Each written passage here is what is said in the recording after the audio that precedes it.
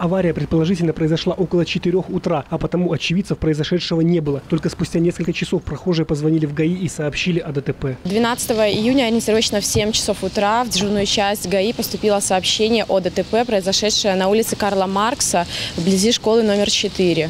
Водитель не справился с управлением и въехал в дерево.